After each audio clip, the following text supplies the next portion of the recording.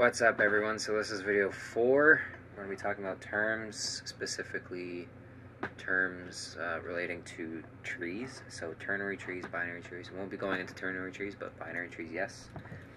Um, the basic concept of a term is it's like a it's like a predicate that you can use inside of another predicate. So it's like an object that represents something. So let's say we have a family, right?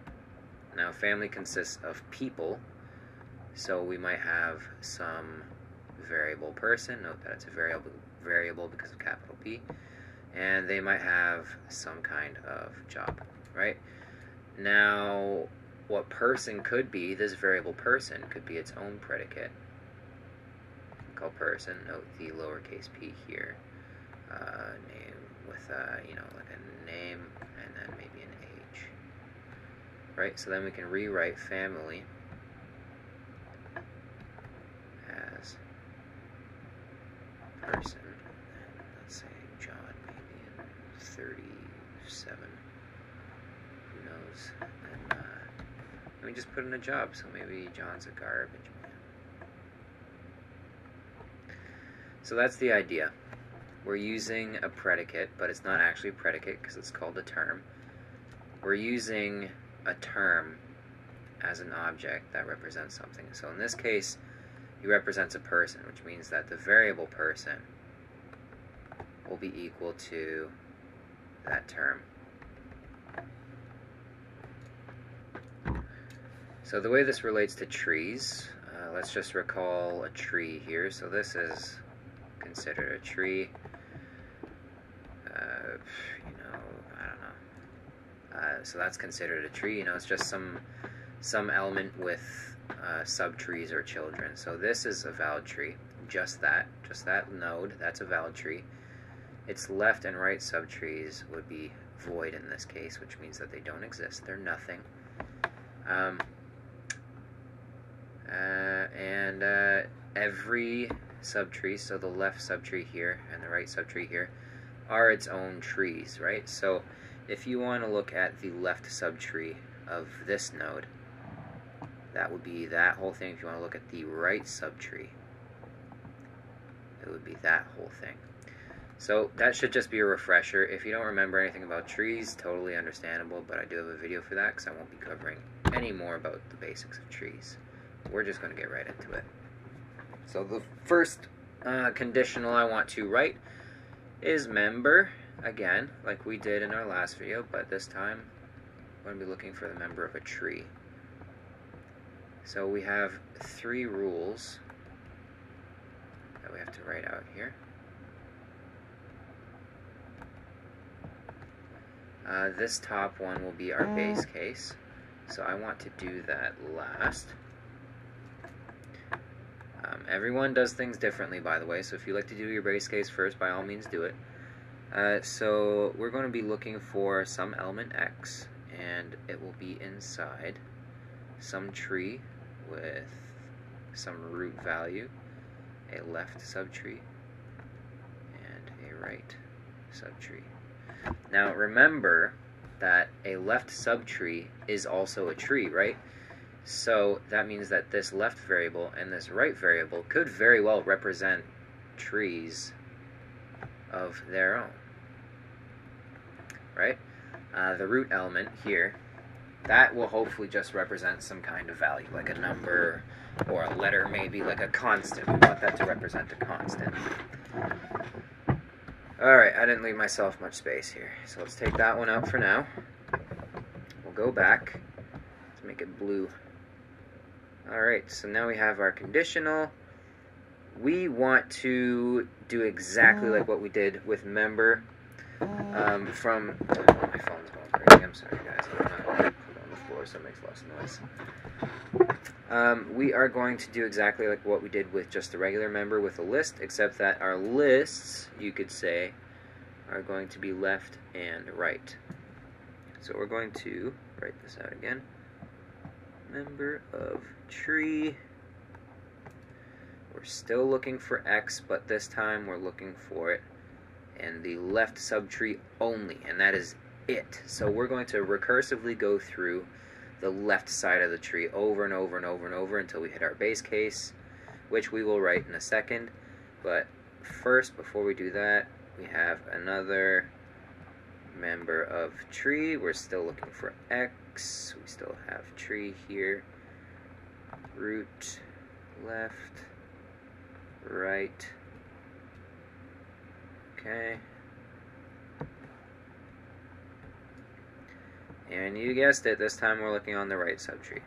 Member of tree, X, right. Now, again, remember that right is its own tree, and left is its own tree. So, when this recursively calls itself, putting hooking left, this variable left, up with this big tree term is totally valid. You can totally do that. Alright, so now finally the base case. So we have x, and this will be the same again as our uh, previous member function. It works the exact same way. So that means that this tree that we have, we want to stop this when we find a tree with a root element x.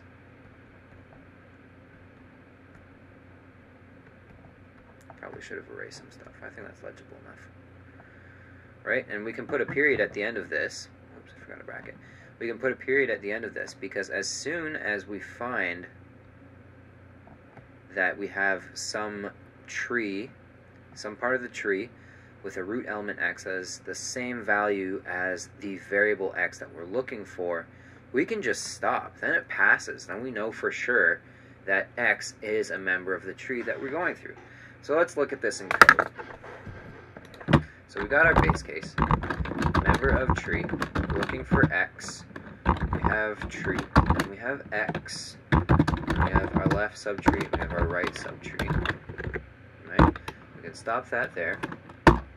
Then we have, I'm actually going to copy this, paste that, paste that. Okay, we're looking for root, left, right. Got a conditional there, and then root, left, right.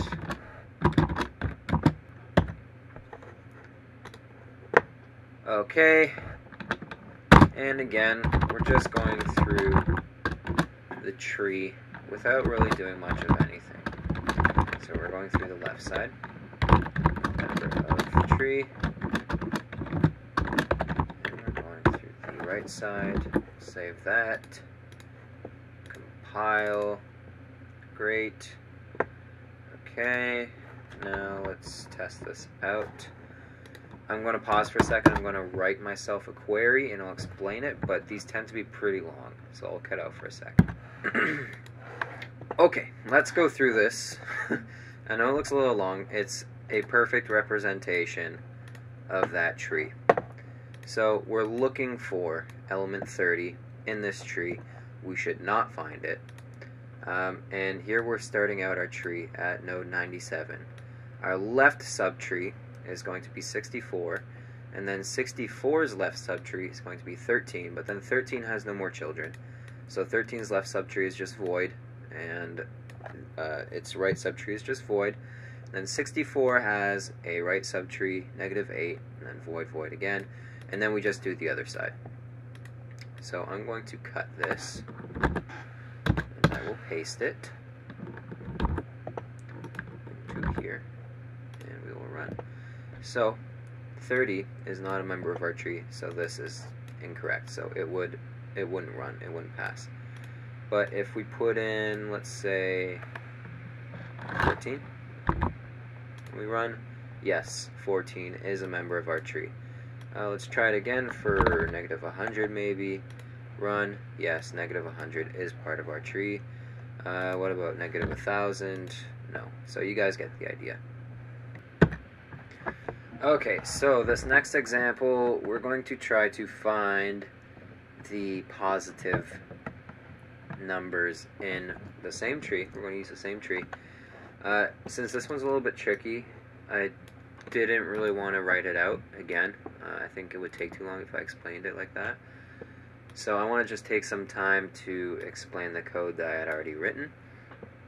So, this is our base case at the start. So if we have a void tree. So if it's an empty tree, which means, you know, like if we hit the very, very bottom, somewhere like here, that would be void. Right? And if n is 0, then stop. So there's a few things that could happen there. The big one is if we just plug in a void tree, um, then naturally the number that number of uh, of positive numbers would be zero. Oh God, what am I doing? There we go. Okay. Now after that, we have positives with our tree. That's the tree that we're looking in. And n, n is not going to be anything. We're actually going to, when we do our query, we're going to plug in a variable. We're just going to say, hey, positives and then our tree, and then just put n at the end. Not an actual value or anything like that. Because Prolog will find us a value. It will give us an n. It will tell us how many positives are in this tree. There are two conditions that we have to account for, two rules. One is when we encounter a positive number, as denoted here. When the root that we hit is bigger than zero, naturally it's positive. And if it's not, then it's just the other condition. So any other condition, it'll hit that second, uh, second conditional sentence here. So let's say our root is bigger than zero. We go through the entire left subtree and then after that, we go through the entire right subtree. And then once we're done that, our n will be whatever we find, m plus q. So it's the n's here. So of all the nodes that we hit, if we hit a positive one, we make sure to add 1 onto n. For sure. Because we're counting positives only here, right? So we only want to add 1 onto our n count if we hit a positive.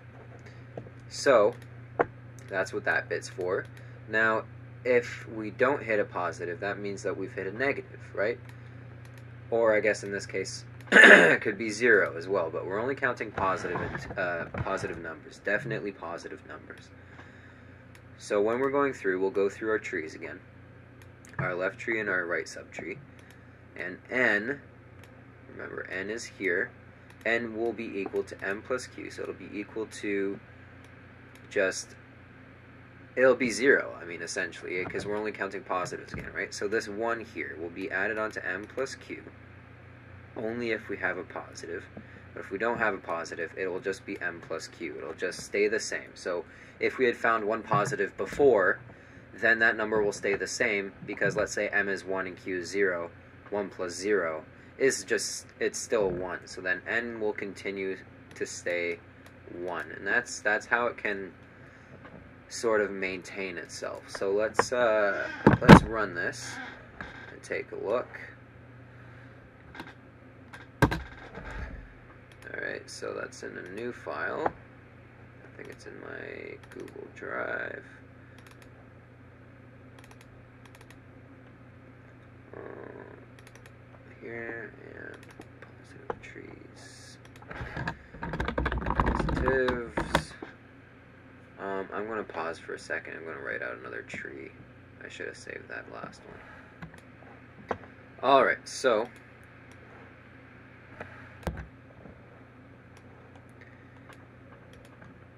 I have our tree. It's the same one as before. And at the very end, you'll see I've put in n. And this is where our count's going to be. And Prolog's going to return how many positive numbers we have. So let's run that. We have five positive numbers. Let's double check. One, two, three, four, five. That's fantastic. So what happens if we add another negative in there? We run that. Four. Exactly. We have four positives. So four is negative now. So we only have one, two, three, four. So that works. I know this part's a little confusing, but you have to just remember that you're only adding one onto your previous n, whatever it was, if you find a positive. So that's where this condition comes in. So you always want to account for everything when you have problems like this. You want to account for hitting a positive, and in this case, you want to hit, uh, you want to consider hitting anything but a positive. So I hope that helps. Um, yeah, I mean, I guess thanks for watching. Uh, feel free to subscribe. Um, next video is going to be cryptarithmetic, I believe. And that will be it for now. I'll take a bit of a hiatus on this stuff just because uh, that'll be all the midterm information, all the midterm coverage. And I'll be starting up again after crypt arithmetic, uh, maybe in a couple weeks or something. We'll get into like uh, natural languages and stuff like that. So yeah, again, thanks for watching. Feel free to subscribe and happy studying.